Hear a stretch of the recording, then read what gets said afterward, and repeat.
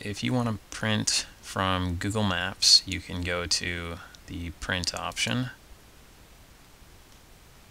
And here's what it'll look like at the selection we had.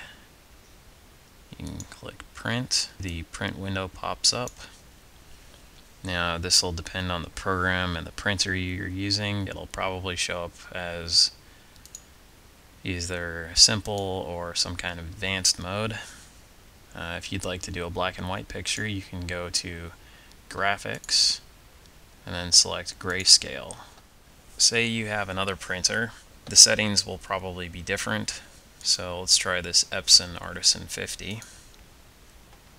So if we want to do the same thing uh, to make it black and white, for example, you could go to Print Settings and then select this color pop-up menu and change it to black slash grayscale.